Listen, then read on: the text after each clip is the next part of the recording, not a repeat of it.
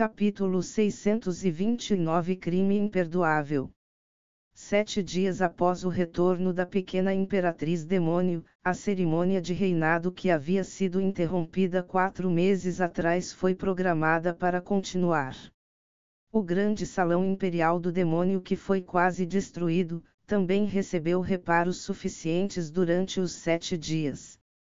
Comparado aos incessantes murmúrios no grande salão de quatro meses atrás, entre os dois poderes rivalizando por controle, hoje, o número de pessoas no grande salão era muito maior. Porém, estava morbidamente silencioso, silencioso ao ponto de onde até mesmo a respiração não pôde ser ouvida. Os arranjos de assentos núcleos também receberam uma mudança bastante perceptível. Um grande caráter e um foi escrito na posição chefe das famílias guardiãs e o clã Elian que manteve a posição de clã-chefe, liderados por Elian Kua, todos os membros topo do clã estavam se ajoelhando no meio do salão. Eles sequer tinham assentos.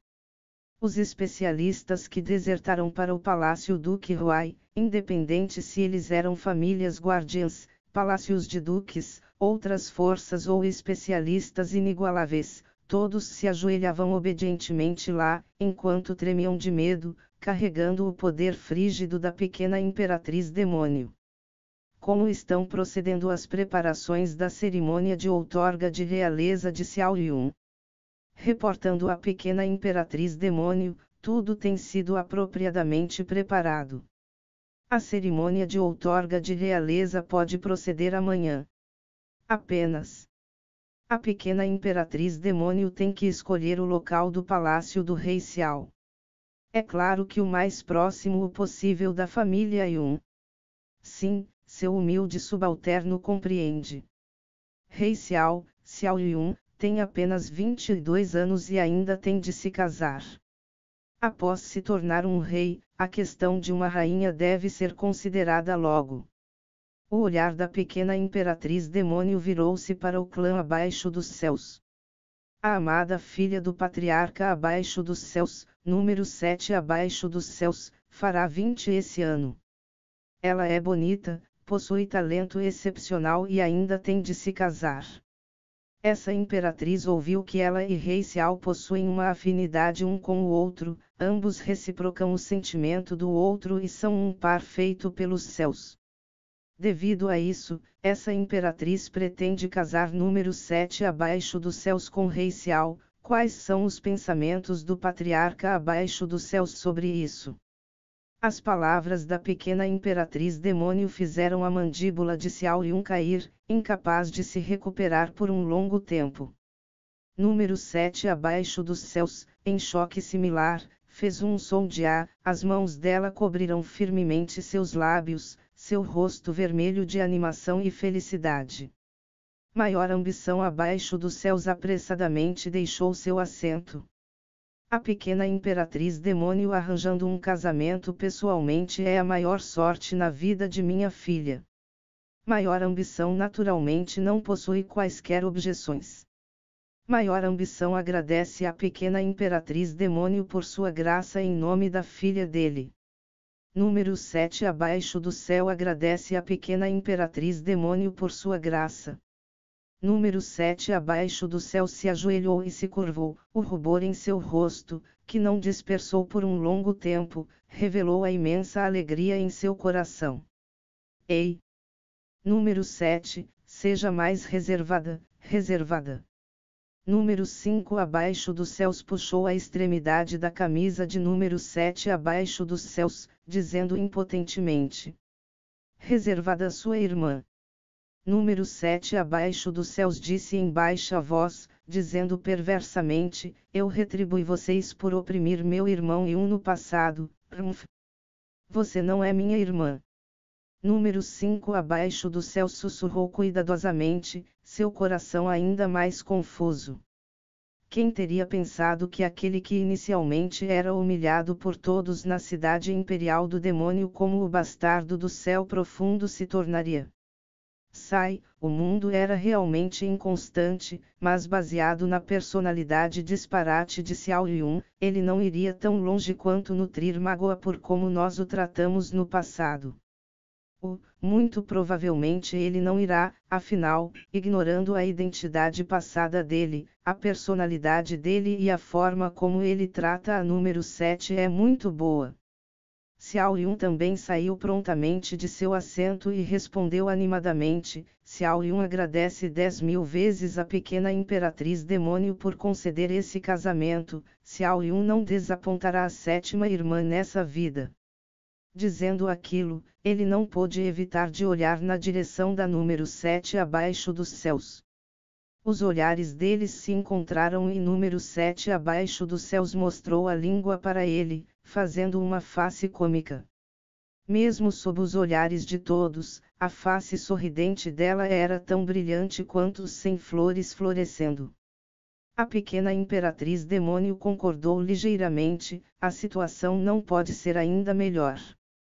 Patriarca e número 7 abaixo dos céus é a pérola mais preciosa da família abaixo dos céus, o presente de noivado de sua família e um não pode ser pequeno.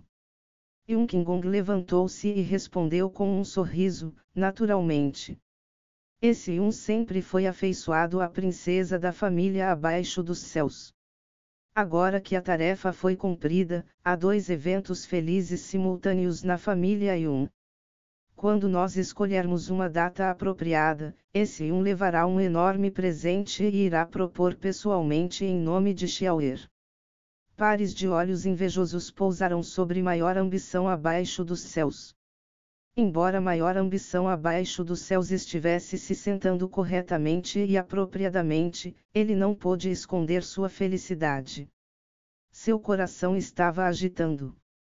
Inicialmente, quando ele pensava sobre a questão de sua filha e Xiao, seu cérebro quase explodia, mas hoje, sua filha seria casada a Xiao Yun e era boa sorte para todos da família abaixo dos céus. Isso era porque o atual Xiao Yun não poderia ser comparado a ele do passado. Ainda mais, a atual família Yun ainda mais não poderia ser comparada a como era no passado. Quatro horas passaram muito rapidamente no palácio. O grupo de pessoas em conluio com Duque Huai ajoelharam-se lá por quatro horas, ajoelhando lá sem sequer um único movimento. Sem sequer mencionar interromper, eles sequer ousarem soltar um pum, como se eles fossem criminosos aguardando a sentença deles, não, eles eram exatamente criminosos. Nesse momento, o olhar da pequena imperatriz demônio virou-se em direção ao centro do grande salão. O olhar originalmente gentil dela tornou-se frio em uma fração de segundos. Embora as pessoas que estivessem se ajoelhando lá não levantassem suas cabeças, a pressão da pequena imperatriz demônio era como a mais fria lâmina pressionando contra a garganta deles, fazendo o corpo inteiro deles tremer. Essa pressão os forçou a abaixarem a cabeça ainda mais, nem mesmo ousando respirar profundamente. Essa imperatriz queria que vocês matassem os nove clãs de Duque Huai em dez dias. Sete dias se passaram, como está o progresso? O tom no qual a pequena imperatriz demônio usou para falar com eles, comparado a quando ela falou com a família Yun e a família abaixo dos céus, era completamente diferente, era degressivo ao ponto de quase sufocá-los. A pequena imperatriz demônio não perguntou a ninguém em particular e os patriarcas que estavam se ajoelhando na frente, lutaram para ser o primeiro a responder. Re, reportando a pequena imperatriz demônio. Dos quatro clãs sob o pai de Duque Huai, três clãs sob a mãe dele e dois clãs sob a esposa dele, eles foram todos mortos, nenhum único restou. Aqueles que estavam estacionados fora da capital foram todos eliminados, que, que a pequena imperatriz demônio fique tranquila. Os corpos, como a pequena imperatriz demônio instruiu, foram todos queimados publicamente em frente dos portões da cidade, nenhuma polegada de grama foi deixada as ordens da pequena imperatriz demônio, nós naturalmente não ousaríamos retardar. Eliancu agitadamente tirou um pacote de tiras de jade, erguendo ambas mãos. Abaixo do palácio Duque Huai tinha uma sala secreta que ainda tinha de ser destruída, essa tira de jade foi encontrada dentro. A arte demoníaca da chama caída está inscrita nela, a pequena imperatriz demônio carrega poderes da Vinos, então essa arte demoníaca da chama caída naturalmente não possui as qualificações de estar aos seus olhos. Apenas, ela registra algum tipo de técnica de fuga de sangue, muito provavelmente, do que Minga usou para escapar naquele dia. As sobrancelhas da pequena imperatriz demônio contorcerão e quando ela estendeu a mão, a tira de Jade nas mãos de Elianku voou para a dela. Yunche, que estava sentado ao lado de Yunkingong, também lançou seu olhar na direção daquele pacote de tiras de Jade, que continha energia ominosa. A técnica de fuga de sangue que Duke Ming usou naquele dia era extremamente estranha e baseado nas capacidades da pequena imperatriz demônio, ela não pôde dizer para onde ele escapou. Contudo, se a técnica de fuga de sangue que Duke Ming usou fosse solucionada, da próxima vez que ele parasse nas mãos da pequena imperatriz demônio, ele não seria capaz de escapar. A pequena imperatriz demônio imediatamente abriu a tira de Jade e certamente, uma estranha técnica de fuga de sangue foi demonstrada. Ela olhou através dela indiferentemente, então a fechou. Pequena imperatriz demônio, esse Bai fez uma descoberta enquanto apagava alguns membros sobreviventes do palácio Duque Huai. Bai apressou-se adiante, erguendo uma tira de jade ainda maior em suas mãos, essa tira de jade foi obtida de uma sala secreta abaixo do palácio Duque Huai. Nela estão gravados todos, todos, falando até esse ponto, Bai decididamente engoliu sua saliva, então continuou, todos os nomes daqueles que desertaram para o palácio Duque Huai. Que, que a pequena imperatriz demônio deu uma olhada. O coração de muitas pessoas presentes estremeceu, suor frio derramando do corpo inteiro deles. Não preciso olhar nisso. A pequena imperatriz demônio, porém, sequer deu uma olhada na tira de Jade e disse em baixa voz: entregue a lista de nomes para o palácio do Xing.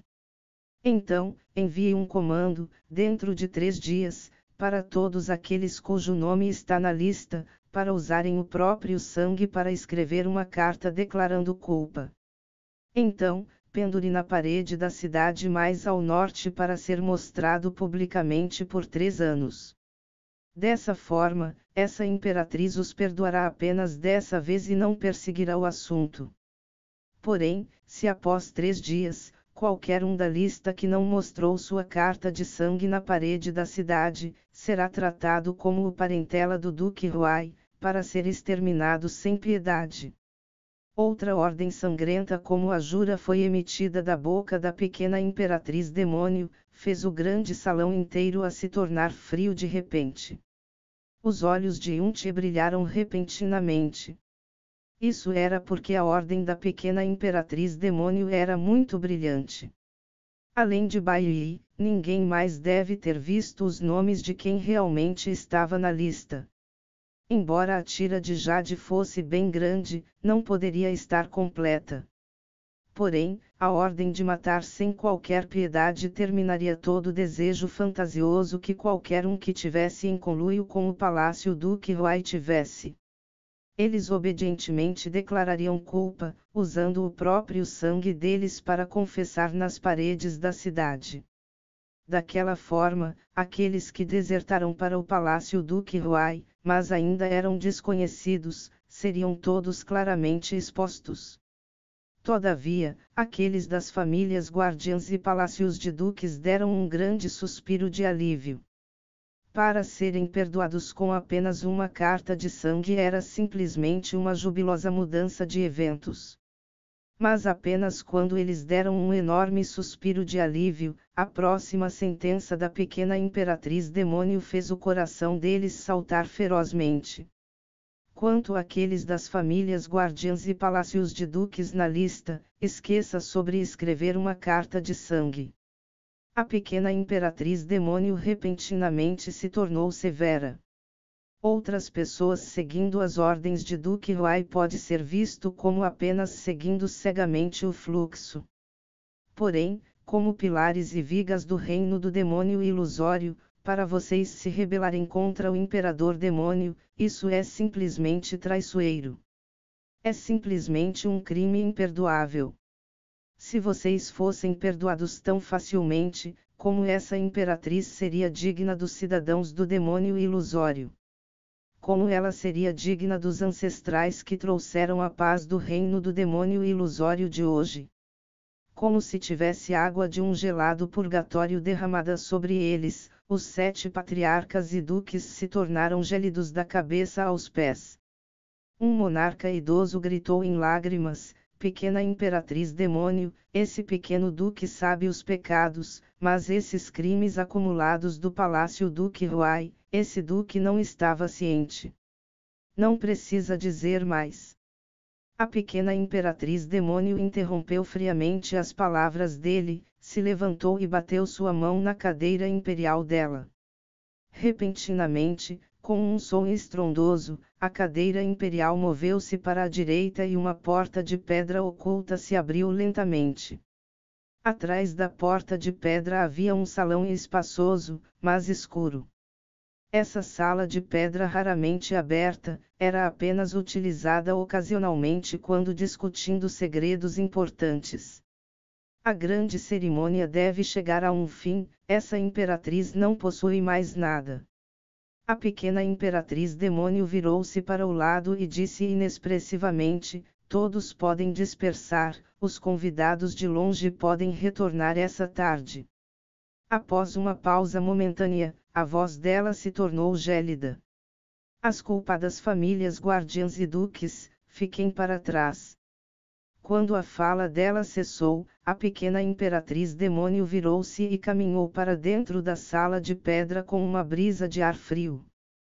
A pequena imperatriz demônio anunciou o fim da grande cerimônia tão abruptamente quanto da última vez.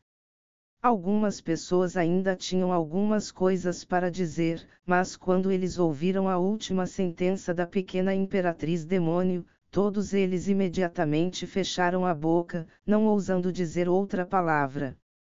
Cuidadosamente, eles saíram de seus assentos, moveram seus corpos e partiram do grande salão imperial do demônio em uma maneira cuidadosa. Grande irmão, você não está se preparando para sair. Olhando em Yunche, que ainda esteve sentado eretamente e não se moveu por meio-dia, Xiao Yun perguntou inquisitivamente. Oh, eu ainda tenho alguns assuntos pequenos para discutir com a pequena imperatriz demônio em privado, não precisa se preocupar comigo. Yunche levantou seu queixo com sua mão e disse com uma expressão misteriosa. Mas, pensando sobre as três palavras pequena imperatriz demônio de agora a pouco, Xiao Yun, como a maioria das pessoas, tremeria involuntariamente. A pequena imperatriz demônio evidentemente não queria que outras pessoas ficassem para trás, querendo especificamente lidar com a questão das famílias guardiãs e palácios de duques. Ele estava com medo de que Siunti provocasse a pequena imperatriz demônio. Eu já disse para não se preocupar comigo. Aprecie e encontre sua sétima irmã. Yunti balançou seus braços, quando ela saiu, ela ao menos olhou em sua direção sete ou oito vezes. Se você não for atrás dela, ela pode ficar brava e não se casar com você. Ho Kingong riu fracamente. Xiaoer, vamos sair. Seu grande irmão definitivamente tem suas razões para ficar para trás, não precisa se preocupar. Tome conta de si mesmo primeiro. Muitas pessoas estão esperando ao redor exatamente para conversar com esse novo rei. Ah! Xiao Yun virou-se e certamente, ele viu que na entrada do grande salão, muitas pessoas estavam deliberadamente se movendo lentamente, constantemente olhando na direção dele. Vá! Yun Kingung empurrou-se ao Yun junto, então sorriu fracamente na direção de Yun Che, não perguntando nada, enquanto ele saiu lentamente. Muito rapidamente, a multidão dispersou. Apenas as famílias guardiãs e duques se ajoelhando no chão foram deixados. Sem a ordens da pequena imperatriz demônio, ninguém ousou se levantar. A testa de todos eles estavam repletas de suor frio e eles usaram constantemente as mãos trêmulas deles para limpar, mas justo quando eles limpavam, mais fluía rapidamente para substituir. Yunti passou rapidamente seu olhar sobre eles, nenhuma única porção de pena em seus olhos. Ele então se levantou e caminhou na direção da sala de pedra que a pequena imperatriz demônio entrou, nem vagarosamente nem apressadamente.